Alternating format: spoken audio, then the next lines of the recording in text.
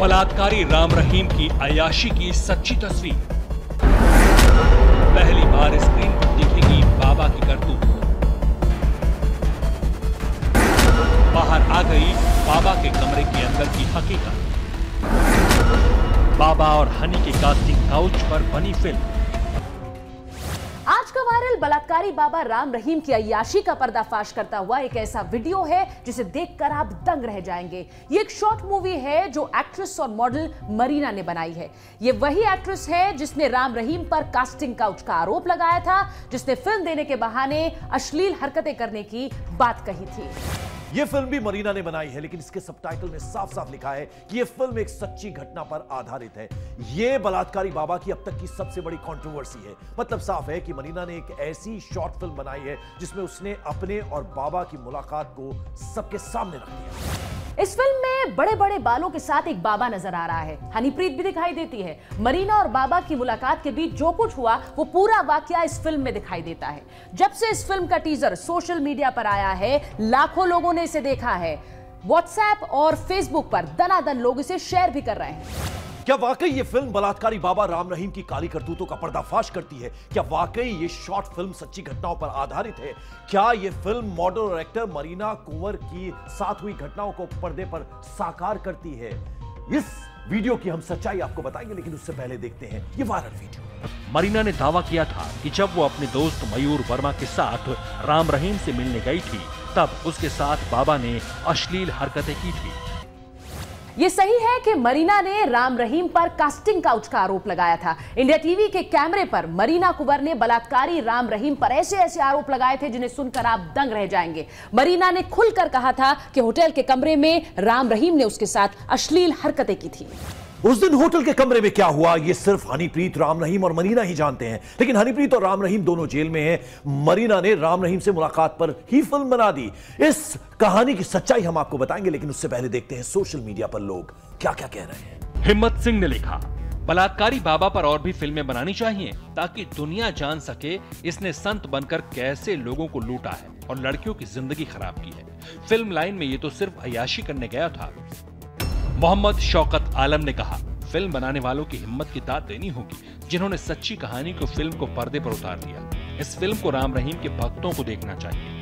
उन्हें सच्चाई बताना ज़रूरी है। राम रहीम ने इंसानियत के साथ साथ देश को बदनाम किया है।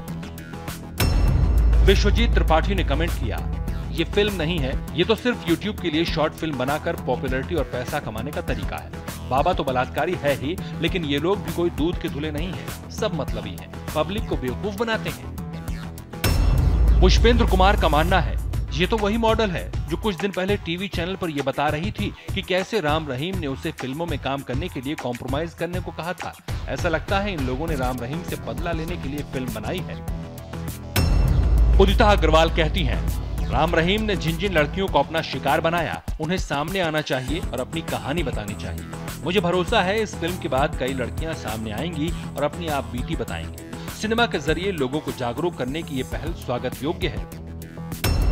देश दीपक शर्मा ने लिखा, इसमें सबसे फनी हनीप्रीत लग रही है। उसके हाव भाव और मेकअप को ऐसा रंग दिया गया है, जिसे देखकर हँसी आती है। ऐसा लगता है कि मॉडल मरीना और राखी सावंत को बाबा से ज़्यादा हनीप्रीत से प्रॉब्लम है। अभिषेक चतुर्वेदी ने कहा, फ़िल्म की क्वालिटी तो अच्छी नहीं लगी। लेकिन जिस वजह से फ़िल्म बनाई गई है, वो ज़बरदस्त है।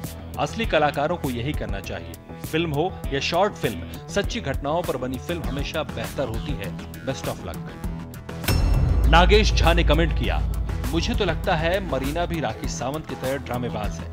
अब तक उसे कोई नहीं जानता था, लेकिन बाबा के एपिसोड के बाद से ये फ़ेमस हो गई।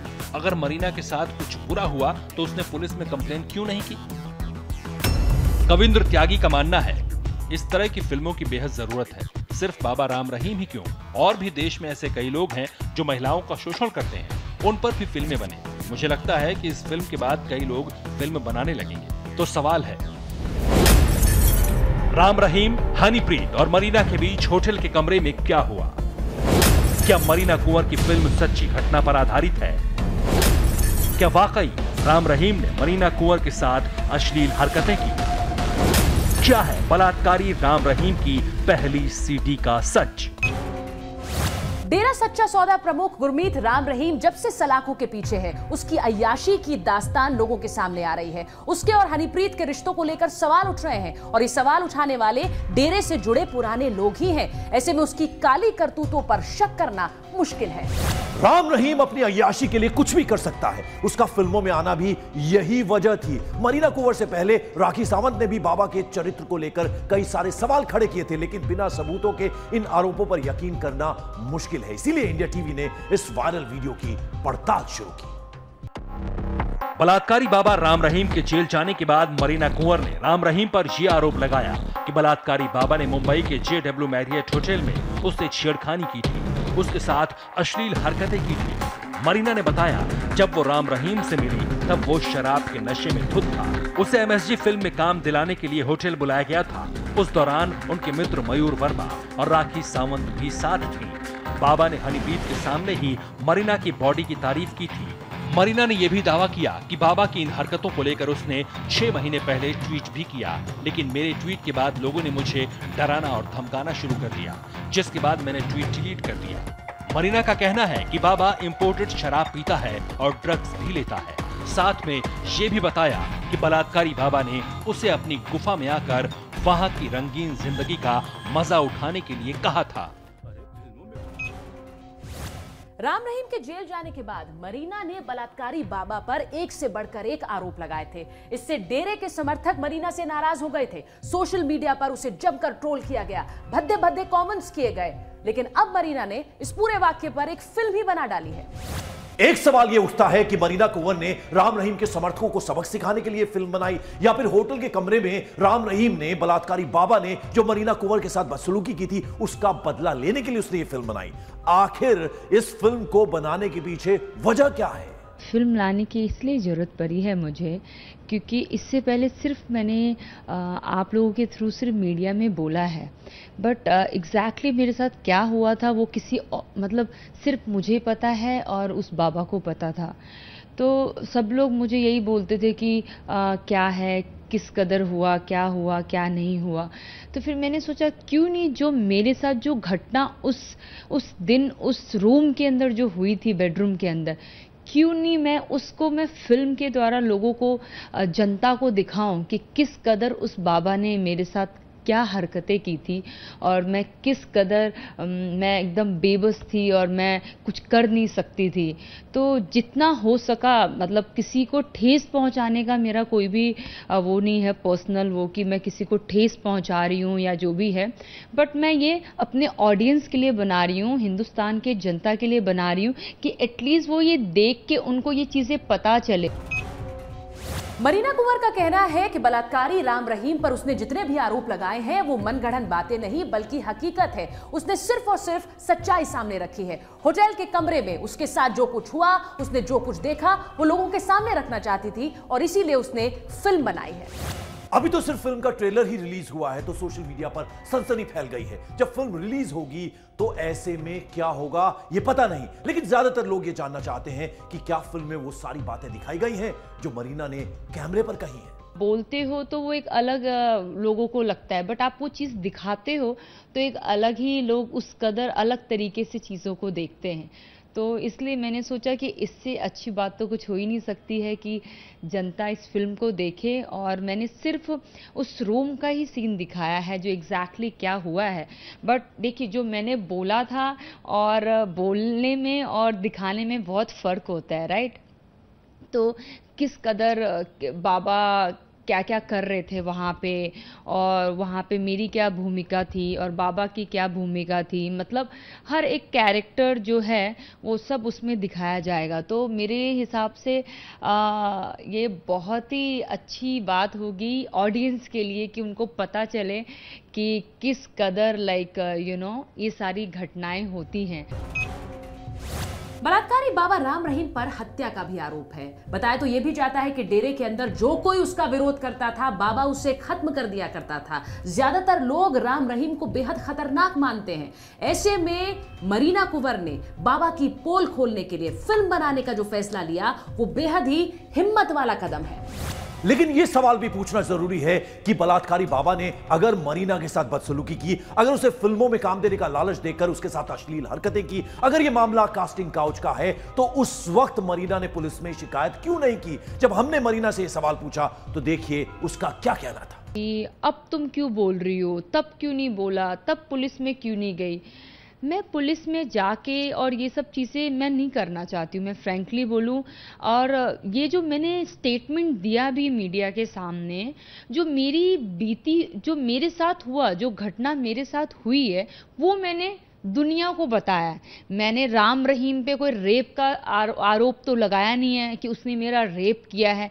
जब ये सारी बातें निकल के आई है हनीप्रीत आई हैं तो मैंने सिर्फ़ अपनी बातें रखी हैं कि मेरे साथ भी ऐसा हुआ था। मैंने ये तो कहीं पे किसी चैनल पे नहीं बोला कि राम रहीम ने मेरे साथ रेप किया है या मेरे साथ कुछ करने की कोशिश। हाँ जो उसने किया, मैंने सिर्फ़ वही चीज़ बोला है और उससे एक्स्ट्रा या उससे ज़्यादा मैंने कोई चीज़ ऐसी बोली नहीं है। और बात रही कंप्लेन की तो मैंने पहले कंप्लेन नहीं की जाके, अब मैं क्या कंप्लेन करूँ? उससे क्या हो जाएगा? तो वो लोग तो देखिए, वो तो अभी तो मैंने सिर्फ़ टीजर रिलीज़ किया है लॉन्च किया है बट मुझे ये पता है, जब मैं फ़िल्म आप लोगों के थ्रू दिखाऊँगी तो इसके बाद तो बहुत बवाल होना ही होना है, क्योंकि कहीं ना कहीं वो सच्चाई सब कुछ दुनिया को पता चल जाएगी कि किस कदर उस बाबा ने मेरे साथ किया था। बलात्कारी राम रहीम को उसके गुनाहों की सजा मिल रही है, लेकिन उसके समर्थक सोशल मीडिया पर एक्टिव हैं। जब मरीना कुंवर ने राम रहीम पर आरोप लगाए थे तो उसे सोशल मीडिया पर बुरी तरह से ट्रोल किया गया था।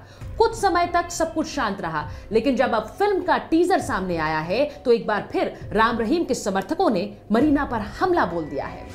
मरीना के मुताबिक उसने इस फ़िल्म में सच दिखाने की कोशिश की है। लेकिन यह सच मरीना का सच है, जिसे राम रहीम के समर्थक झूठा बता रहे हैं। उनका साफ़ यह कहना है कि मरीना ने फ़ेमस होने के लिए यह नाटक किया है। और मरीना को भी यह बात साफ़ मालूम है कि इस फ़िल्म के रिलीज़ होते ही सोशल मीडिया पर हंगामा मच जाएगा। कल डाला है, कल से फिर स्टार्ट कर दिया उन्होंने मुझे यूज़ करना, गालियाँ दे रहे हैं।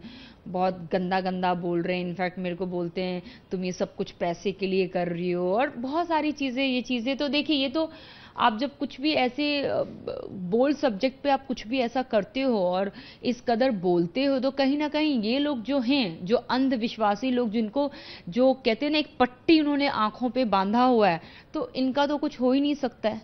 और वो सारे वही राम रहीम के ही चेले चमचे हैं क्योंकि उन्होंने क्योंकि उनके अकाउंट में भी मैंने जाके देखा कि एग्जैक्टली exactly क्या है।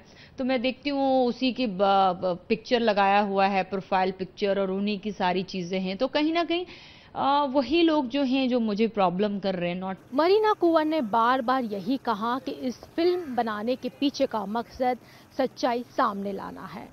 मरीना का कहना है कि ये फ़िल्म प्रदर्शित होने के बाद बाबा राम रहीम के द्वारा सताई गई कई लड़कियाँ सामने आएगी और बलात्कारी बाबा की हकीकत लोगों के सामने आएगी। लेकिन इस बात से भी इनकार नहीं किया जा सकता कि इस फ़िल्म बनाने के पीछे का मकसद इस विवाद के ज़रिए प्रसिद्धि पाना भी है। मरीना कुंवर ने बलात्कारी राम रहीम पर कई आरोप लगाए हैं। उसने कास्टिंग काउच के अलावा यह भी दावा किया कि राम रहीम शराब पीता है, ड्रग्स लेता है और शराब के नशे में धुत होकर ही उसने होटल के कमरे में मरीना के साथ अश्लील हरकतें की। मरीना के पास सिर्फ़ आरोप हैं। इन आरोपों को साबित करने के लिए उसके पास कोई सबूत नहीं है। राम रहीम और हनीप्रीत अगर जेल से बाहर होते तो मारिया कुंवर की बातों का जवाब दे सकते थे। होटल के कमरे में मारिया के साथ क्या हुआ? बाबा ने उसके साथ क्या किया? इसकी एकमात्र गवाह राखी सावंत है, जो उस दिन बाबा से मिलने गई थी और उसने मारिया कुंवर की बातों को सही बताया है। कोई भी लड़की हो, किसी भी प्रोफेशन से जुड़ी हो, यू दुनिया के सामने सच का सामना करना आसान नहीं है। बड़ी हिम्मत की ज़रूरत पड़ती है। मरीना के साथ जो कुछ हुआ उसने इसको लेकर एक फ़िल्म बनाई है और इस घटना की एकमात्र गवाह भी मरीना के साथ है। मारिया के दावों में कितनी सच्चाई है, इसका फैसला आपको खुद करना है, लेकिन एक बात हम ज़रूर दावे से कह सकते हैं कि ऐसे बाबा जो आस्था के नाम पर ढोंग करके अरबों का साम्राज्य खड़ा करते हैं, वो अपनी अयाशी के लिए किसी भी हद तक जा सकते हैं। ऐसे बाबा भारत और समाज के लिए कलंक हैं, ऐसे बाबाओं से दूर रहने की ज़रूरत है।